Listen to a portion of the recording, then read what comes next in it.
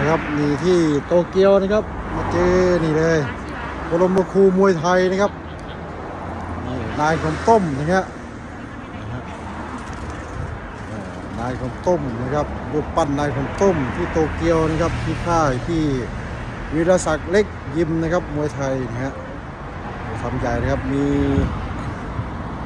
นี่นายคนต้มกล้ามเป็นมัดๆเลยครับ ต้ม